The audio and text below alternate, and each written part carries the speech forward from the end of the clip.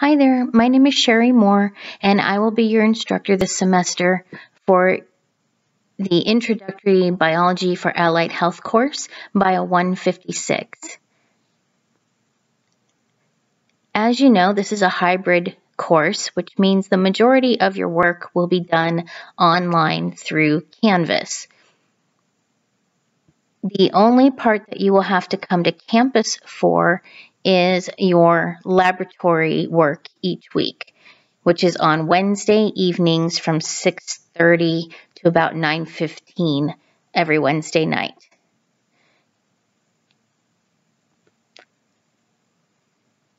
This is your first lecture of the semester. We will be going through chapter one in your textbook. If you haven't received your textbook yet, then read back through the syllabus and um, get the information on how to find your textbook because we'll be utilizing an e-text to this course and there are several different formats for you to choose from. So go back to your syllabus and take a look at how to get the textbook so you can follow along with this lecture while you're reading chapter one. Okay, let's get started with chapter one. Here we go.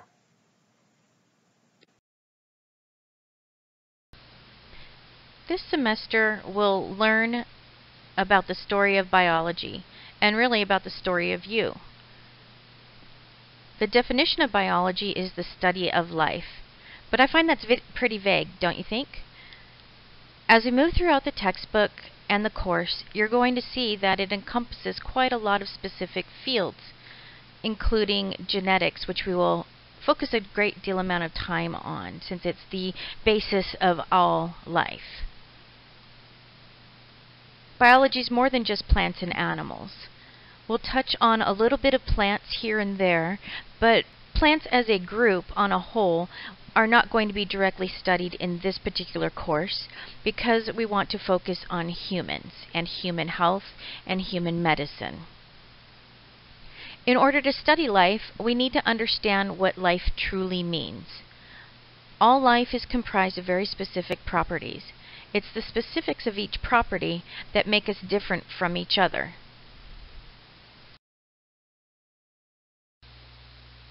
You have probably noticed that I have listed two different chapters here in this PowerPoint.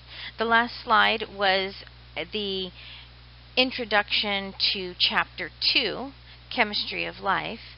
And this slide is outlining Chapter 12, Diversity of Life.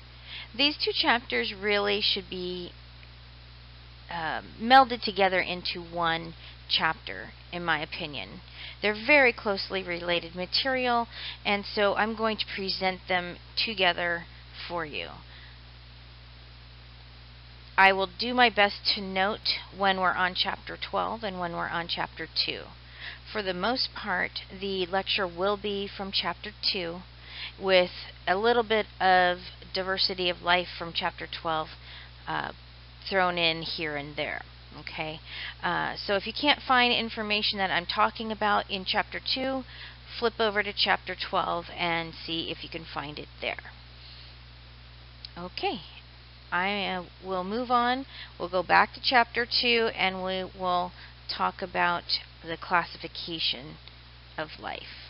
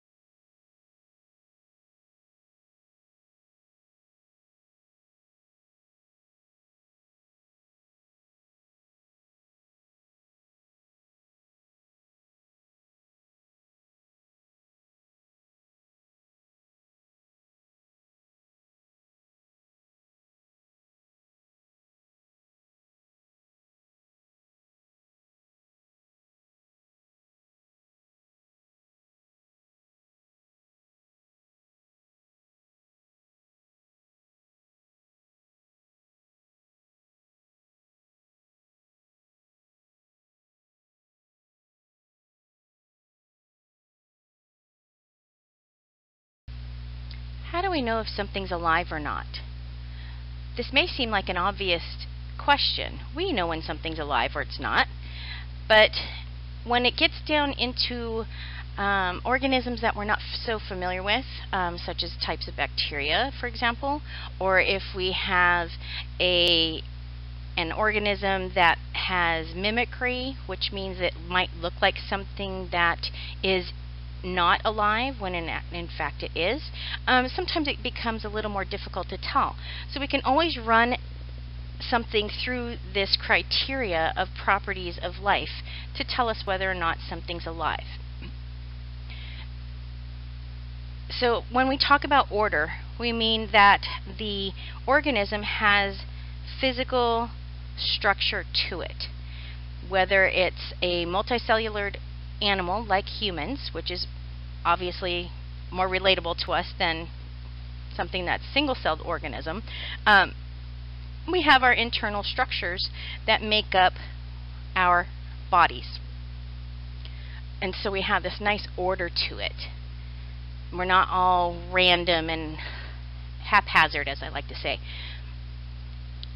Likewise, as organisms of life, uh, we respond to our en environment, whether it's a external environment or an internal environment. We have the ability to respond to it. Uh, this is how we show whether we're hot or cold or if we are um, responding to something that's hot or cold. You'll see these um, actions evident in all walks of life. Reproduction is probably something you're familiar with. You've heard your whole life because you yourself have been um, a product of reproduction. So it's just where you have um, an organism that is able to uh, create an offspring of some sort.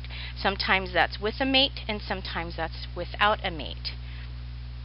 Adaptation is, again, we need to adapt to our surrounding environment uh, to make sure that we're our most optimum that we can possibly be. An optimum body is one that is um, highly advantageous as a species, as an individual. Um, it's always our goal, and we'll talk some more about that um, as time goes on. Number five, growth and development. Obviously, if you're going to be born this little infant, you're going to have to grow and develop. And hopefully you do that in such a way so that you will grow at a proper recognized rate and that you develop in an organized expected way anything outside the realm of expectation in this regard um, could indicate that there's something wrong with that being. Regulation is where we have to regulate our internal body, again, to meet within its internal environment as an optimum uh, goal that we strive for, and also as a regulation in relation to our temperature. And you can see where there's some overlap in some of these areas. Homeostasis is something that you'll hear me harp on all semester long. Um, homeostasis, in my opinion, if you don't have the first six, then you're not going to have homeostasis. Homeostasis loosely means that your you as an organism are in harmony with your outward environment and then your inward environment. Your internal workings all have to work as a balanced with each other. If one is not working right, then it can affect the other one, and it can have this snowball effect. The same thing happens with our outward um, relationship to our uh, environment. It's usually considered more of an internal compass, if you will, than um, an outwardly one, but it does relate to this um, sensitivity and response to your environment as well. And then finally, number eight, all properties of life, or excuse me, all organisms of life are going to have to be able to process energy. if you're not processing energy, you're again out of out of whack from your homeostasis, you're a little unbalanced, um, you might not grow and develop appropriately, you might not be able to adapt readily or, or reproduce in any way, um, and you might not be able to sense change and respond to it. So these eight uh, criteria are what make up life as we know it, as, as we consider it in biology. Now that we've defined the parameters of all life, let's back up a step and further see what life is made up of. When we discuss what makes up life, we start with the smallest unit of life and work our way up to the largest part of life. So what do you think the smallest unit of life is? Cells? Tissue? Organism itself? Nope, it's what we call atoms. I'm sure you've heard of atoms. And I'm sure you've heard that atoms, wait a minute, aren't really the smallest unit of life. We always heard that there was something more. Well, you're right. If you take an atom and you split it open, then you have subatomic particles.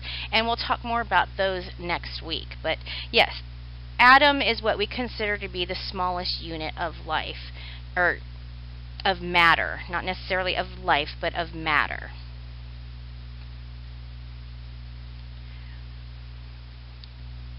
Atoms are considered the building blocks of life.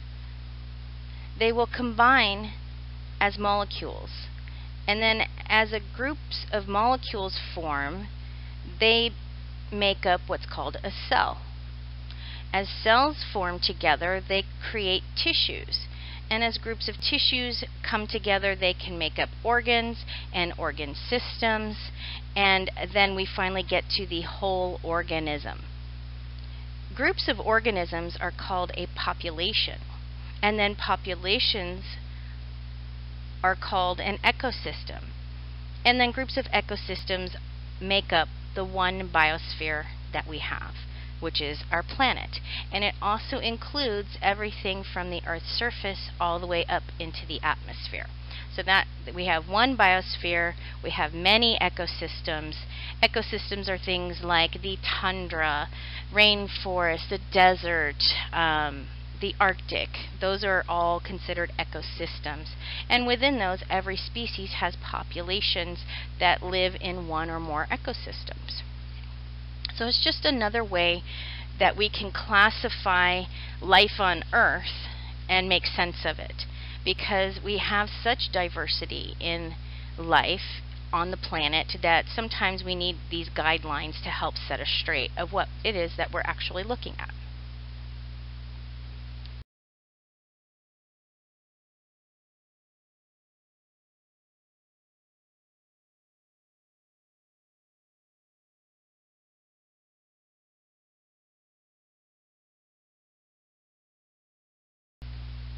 This is just a quick visual representation showing how we can take um, all the components of our Earth and break them down into the smallest unit, which is an atom, and work our way up as we group larger and larger and larger into the one biosphere that we have.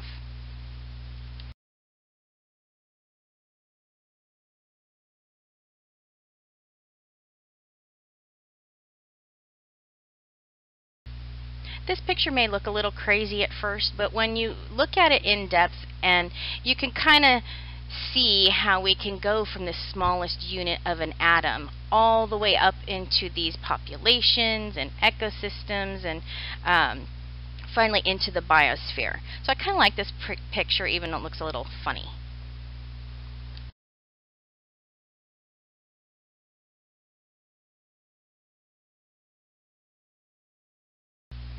So we've shown how we consider whether or not something is alive, and then we can show how um, there are classifications of the smallest unit all the way up to this large unit that encompasses all of life.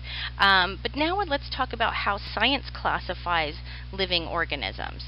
This is called taxonomy. It's just a classification system. And as you can see by the picture, it's got this beautiful, what I call mountain lion.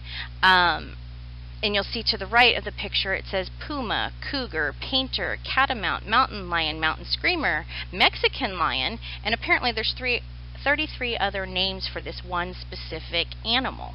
Well, that can get incredibly confusing, as you can imagine. So, over the years, um, from like the 1800s forward, uh, we have come up with several different classification systems, and the one that we've stopped with right now um, is our current system that we'll talk about. Um, I'll give you the the steps to it in just a minute, but I want to show you how this particular organism, this mountain lion, is called a puma concolor, and that is the scientific way of calling this animal. So if you were in a group of scientists and uh, you said, hey, what do you think about that puma concolor? You know, because we all talk like that, right? Um, you know, you would all know, hey, she means a mountain lion. Or wait, was it a painter or a cougar? Oh wait, that's all the same animal. This is why we have this classification system because it makes it so much more simple. And we'll talk about it in the next slide or two of how we come up with these names. But for now, know that a classification system of organisms is called a taxonomy.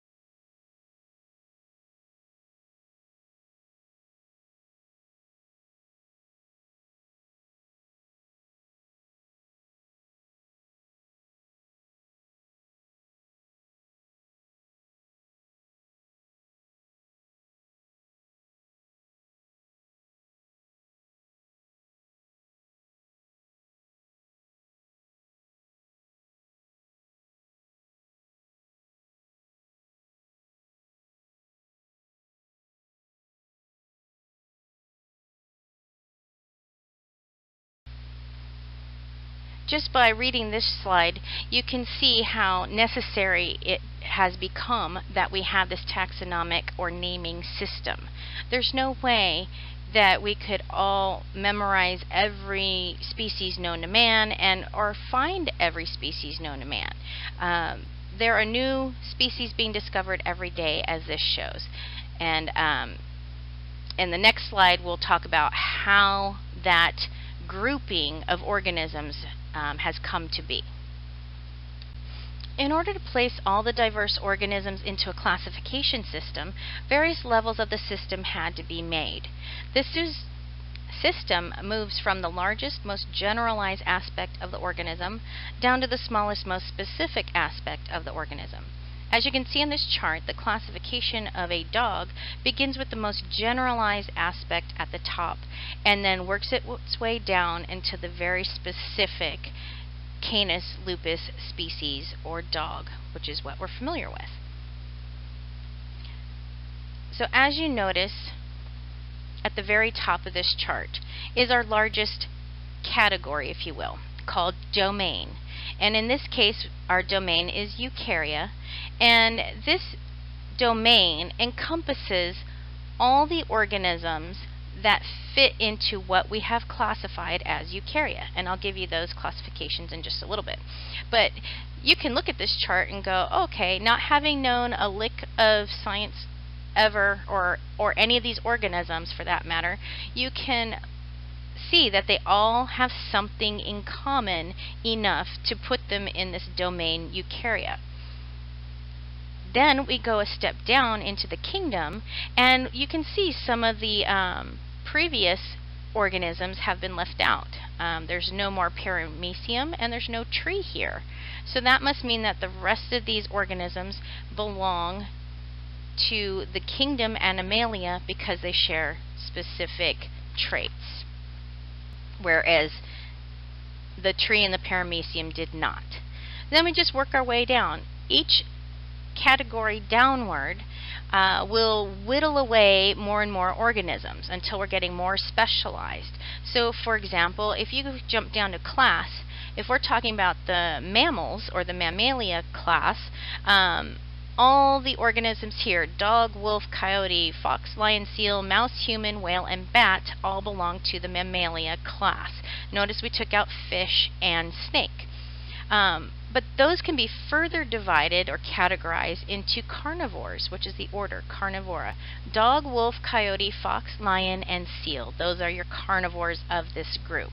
Now, obviously, these are not all the animals known to man in this one little slide, but this is just the example of a dog. So, keep going a little further. Um, we see family Canidae, which just means that there's um, what most resembles as a dog. So dog, wolf, coyote, and fox are thrown in there as well. Then we skip down to genus, which uh, would be the dog, wolf, and coyote, and then the species of just dog and wolf. So the coyote actually has a different species name to it. So a dog and a wolf are both called Canis lupus. And you'll notice that we repeated Canis from genus above in with the species name. Now typically you would just see here, um, you would hear, see the word lupus. That's the more accurate depiction of what a species in this instance is called. Um, when we talk about an organism, we list or say the genus and species names together. So we have the genus Canis and the species Lupus, and those organisms, the dog and the wolf, are going to be called scientifically Canis lupus. And that's basically the gist of how we call organisms in science. Now when we are writing Canis and lupus, there's very special ways to write genus and species genus is always capitalized, whereas species is lowercase, and they're both together italicized. And most science classes and most scientists will have your head on a platter if you do not follow these written rules. So, capitalized genus, lowercase species, you write them together, genus and species, in italics to um, indicate a specific animal or organism. I'm sure all of you have heard mnemonic devices um, in the past, either in high school or wherever you had learned it. Um, but there's the one that I like to do is that uh, we take the first letter of each word in this classification system and we give it a word and that's just to help trigger us of the order that these all go in and um, the first letter of the name that we're trying to remember. So the one I learned was Dear King Philip came over from Greece singing and then I always add his common name. And I add that in there because the common name is going to be dog or a common name of wolf. And that's usually how we go around as normal humans, not scientists, talk about organisms, right? We're not going to say, oh, look at this little Canis lupus that I just adopted. Isn't he lovely? No, you're going to say, look at this cute little puppy or this little dog that I uh, adopted. So that's why I add on the common name portion of that. So it's Dear King Philip came over from Greece singing his common name. And I encourage you to find your own um, devices that help you remember these things. You know, it's whatever makes you learn. That's what you need to go to. This works for me because this is what I learned when I was a kid. And yes, I still remember it today.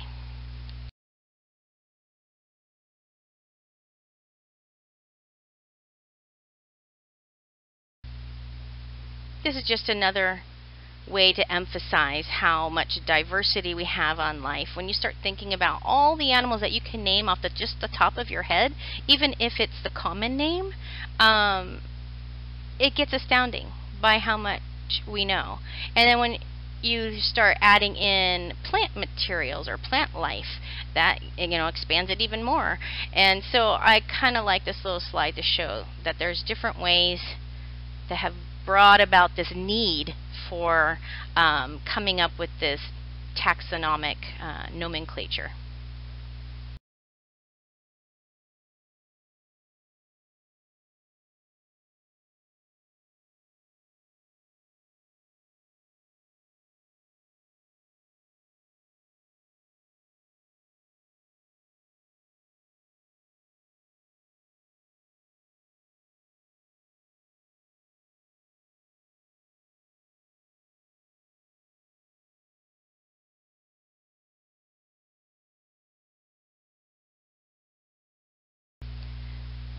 Another way we classify things is by a group's evolutionary traits or genetic relationships.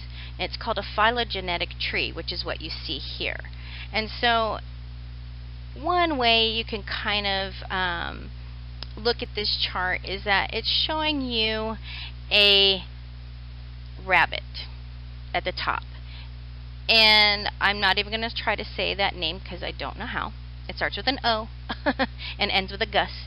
And so you can, let's say you have this group of organisms sitting in a box in front of you, and you're going to ask yourself, okay, who has hair? And let's say you've got a rabbit and I don't know, a puppy and a horse or something. Um, you can group all those together because they all have hair. Well, as you can see on this chart, we can whittle our way down by asking specific questions. Um, which animals in the group have amniotic eggs? Which ones have legs? Which ones have a hinged jaw? Which one has a vertebral column? So these are new ways of um, separating out organisms, and it's by the way they outwardly physically look. And so that's what phylogeny um, typically relates to. We've also added in, as of late in the last, I don't know, 75 years or so, we've also added in the evolutionary common traits. So as you can see, there are many ways to classify things, and depending on your branch of um, science that you're in, you'll use one uh, type of organism or excuse me, of classification than you would maybe over another kind.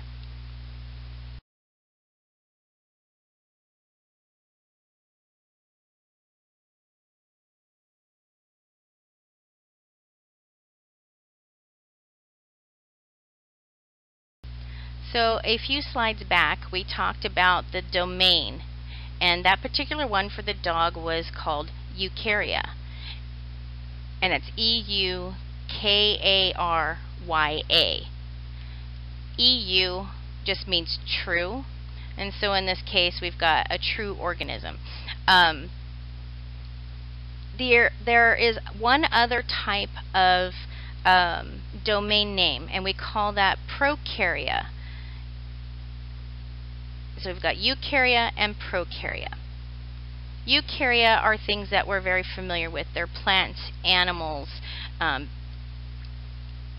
all the, really the organisms that we see and touch and own on a daily basis. That all comes from the eukarya domain.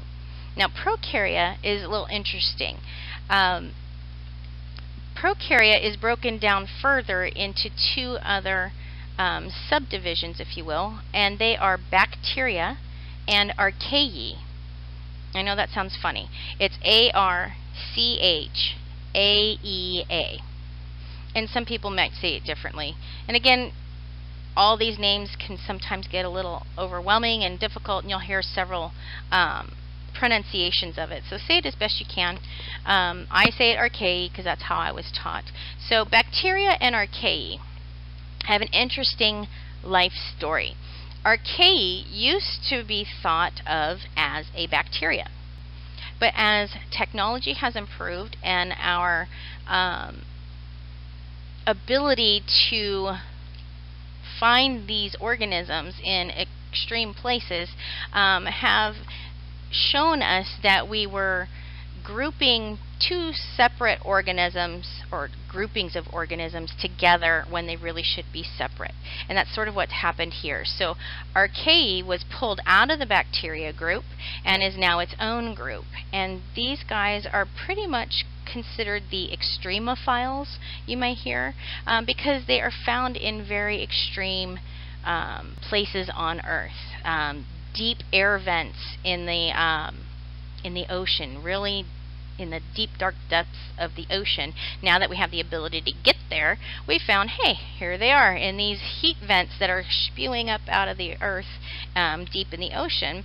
These archaea live there. And um, Likewise, there have been some that have been found in the extreme colds of the Arctic, deep, deep, deep in the ice. So when we would draw out ice cores, these little guys were showing up in our ice. And so they are their own special little grouping. Um, you may still find some people that group them together. You may even hear three domains. Um, you might hear bacteria, archaea, eukarya, prokarya it depends on who you're talking to, um, will determine which groups, which have been grouped together. So, for the purposes of this class, we have eukarya and prokarya as our two domains, and prokarya being further divided into bacteria and archaea. So again, these are just another way to combine organisms by like characteristics and that's what you're seeing here on this uh, screen. This one actually looks like a family tree right? You've got branches and um, you've got branches of branches and things like that. And so it shows you um, the star in the upper right under animals. Um, that's where we fall, right? That is your eukarya group. All the brown is eukarya. Okay, that is your domain eukarya. We have animals, fungi, plants, ciliates, flagellates, all sorts of different things, slime molds, and um, these all have characteristics that are similar in some manner. There's something that groups these guys together. And if you look, that long brown branch that comes right, right down to the red circle, um, we had, this is the, um, the archaea group here in red, um, you can see where we've branched off from them, or they from us. Um, archaea is said to be the some of the oldest organisms ever found. Um, so I guess we probably branched off from them. But you can see how we've got this tree structure all the way to the left, the blue organisms, those are your archaea, or those are your bacteria. So you've got your gram positives, your spirochetes, your cyanobacteria. Um, there's just three branches here. That's what you're looking at. And uh, we've been able to separate some of these organisms out by looking at their genetic material. Uh, now that we have the ability to uh, map genes you know, for specific species, we can see, oh, hey, these guys now, what we were first thought of as together, really are not. And that's kind of where that archaea came in again.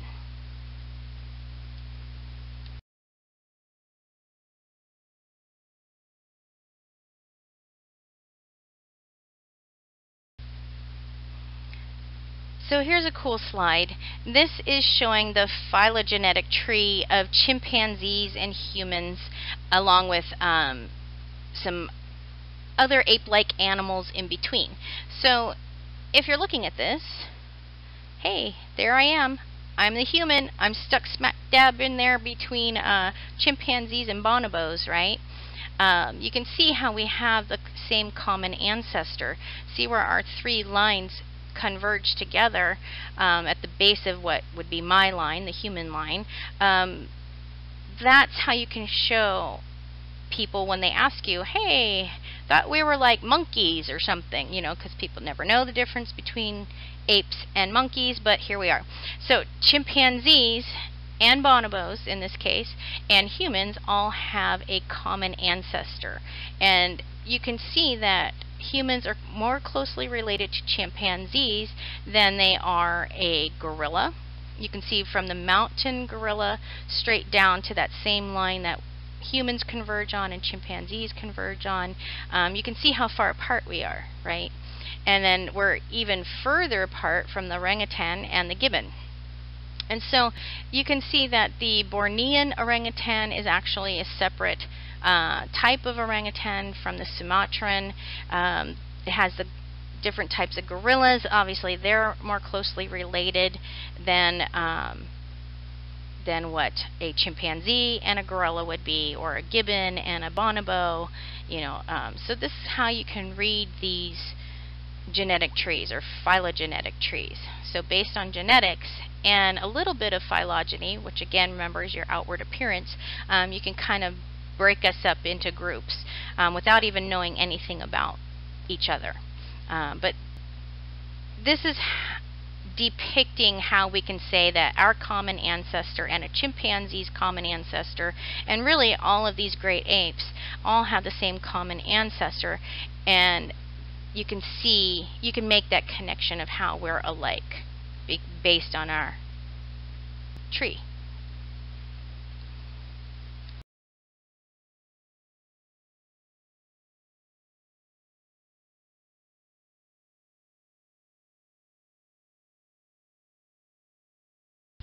Now that we talked about how to classify specific organisms and how to understand what life is and what it isn't, um, we can move on to the process of science. So sort of backwards planning in a way.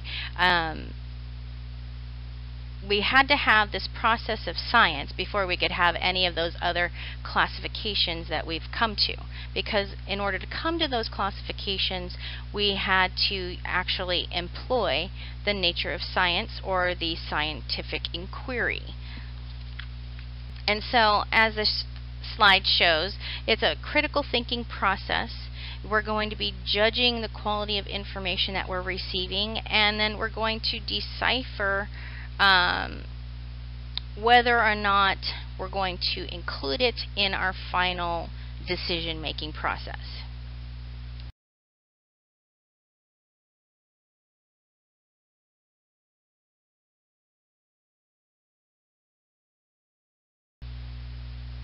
Before we get into the specifics of the nature of science, if you will, or how to utilize science, um, science is used as a way of looking at the natural world. We can communicate our experiences without bias, and without bias is key. Um, we focus only on testable ideas and observable phenomena. So, in the next slide, I'll show you how those ideas come together. But an important note to make is that science is fact based only science is never faith-based. So we touched on it in the last slide or two about evolutionary traits.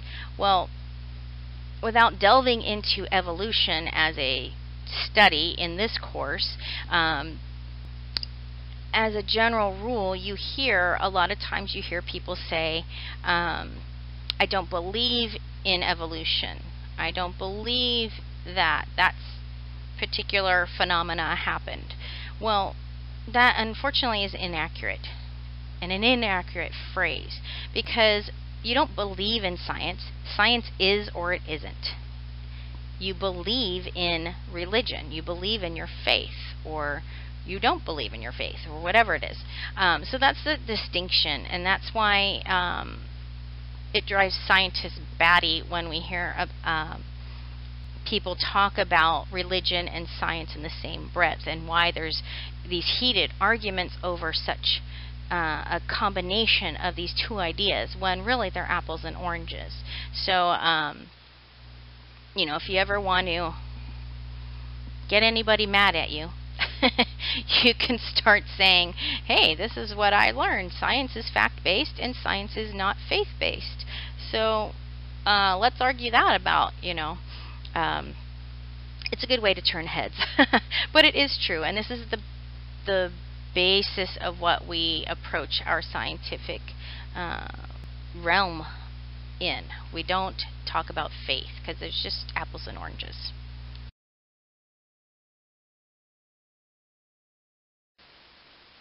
So the process of science usually starts with an observation. We've gone into the world, we've made an observation about something, and then we've created a test to see if we were correct. The observation should lead to what's called a hypothesis. Your hypothesis is a testable assumption um, based on your observation of what you think um, you should see every time you come upon this one instance in nature. So you make this observation and then you're going to test predictions based on this hypothesis and then you're going to um, gather your data and see if you're um, close or not. If we can falsify a study or your hypothesis, then you know you need to change your hypothesis or change the way you've created your study. And the whole idea behind studying, creating studies in such a way, is so that other people can come behind you and use your methods to see if they get the same results. If if they do, then more than likely what you've done is accurate. If they don't, well then there might be something wrong with them and the way they did their study, or there's something wrong with the way you did your study. So this is how all of science works pretty much.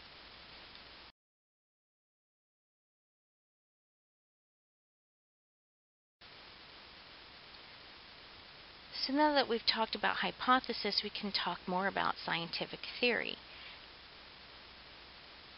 which is a set of principles that explain and predict a phenomenon that you've observed in nature or elsewhere in the lab or whatever. So a hypothesis has been verified by rigorous testing and it has now become a theory and the new theory can be used for making predictions about other phenomena. Okay, so we start with a hypothesis, that observation, the hypothesis, you're testing.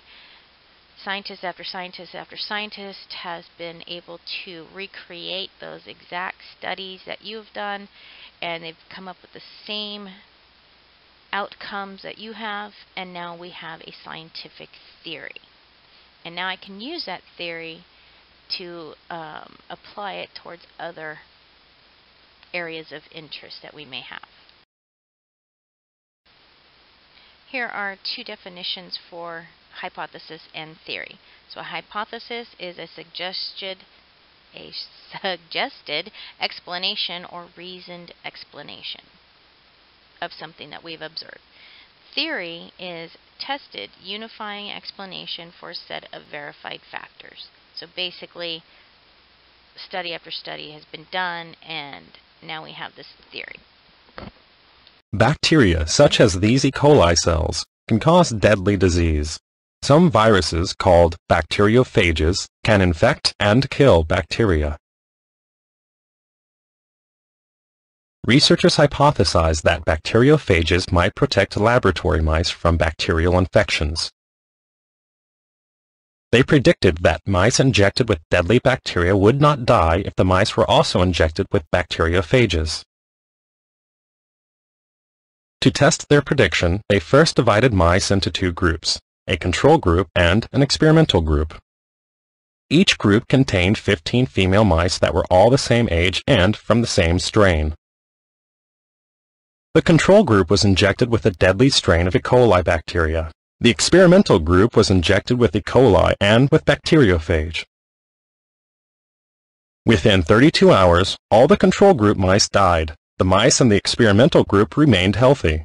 The scientists concluded that their hypothesis was correct. An injection of bacteriophage can protect lab mice against bacterial infection.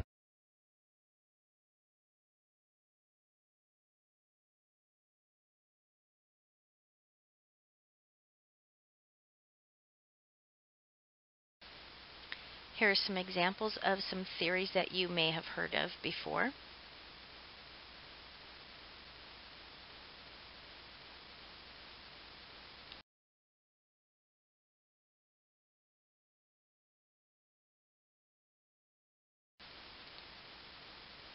The actual experiment that you come up with to test your hypotheses um, are pretty important. You want to make sure that you have a simple enough experiment that it won't take a lot of time and energy, um, but will still provide enough material to answer those questions uh, that you had in your hypotheses. So basically, the experiment part is to support or falsify your prediction, which came from your hypotheses and your observations, um, using testing only one variable at a time if possible. Um, it is very difficult to whittle down an experiment so that only one variable exists. Um, often there are several variables at a time, and through your statistical analysis, you'll be able to account for that. But um, in an ideal world, you would set up an experiment in such a way that you're only testing one variable at a time.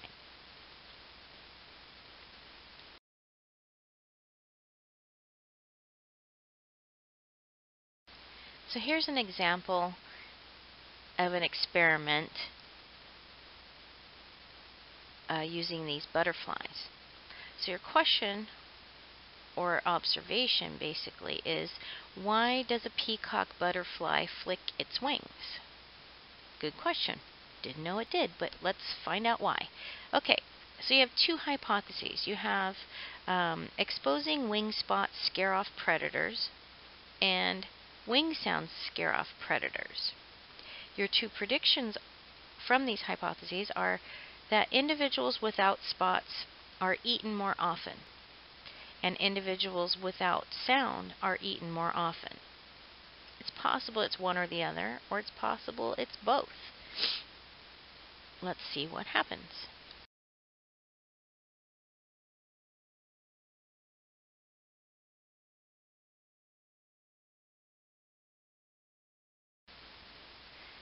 So we have number one here, create a hypothesis. Spot and sound protect butterflies. Number two, make the prediction. Birds will eat butterflies without spots or sounds. Devise an experiment. Modify spots and take away sounds. And last but not least, observation, which would be C above in this table. Um, so let's see. The number that survived was 100% in that first row because they had spots and sound. And that would be our control group because we knew that they had spots and sounds. We want to know what happens when those things are taken away. So the experimental group are going to be the ones that we take the spots away or take the sound away or take both away. And so you can see um, those with spots and no sound, um, uh, they survived 100% as well. And then your two pink lines, one has no spots but sound, and one has no spots, no sound. So the ones with no spot, no sound, uh, the fewest amount of those butterflies survived. So it looks to me that spots and sound are very important and perhaps spots over sound. Spots are more important than, than wing sound is the way I'm rating this. So this is just an example of how we can set up our experiment.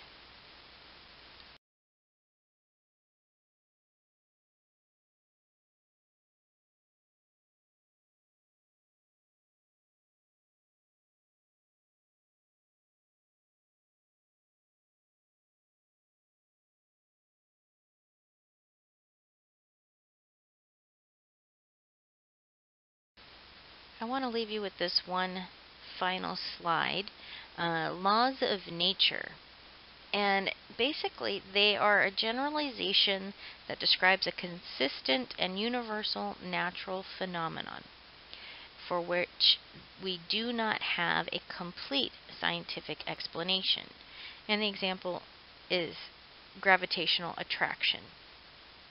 So there are some things out there that we can suppose that maybe our experiments have not quite thoroughly explained what is actually taking place, um, or that we've not been able to come up with an experiment to test what is taking place. So, gravitational attraction is one such law of nature.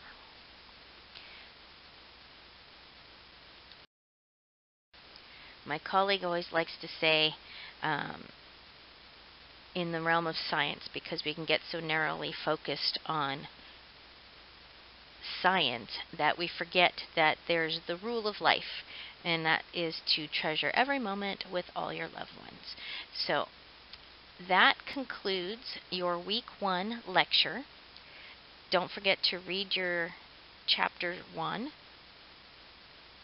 Don't forget to take your quiz based on the chapter, and don't forget to participate in your discussion forum.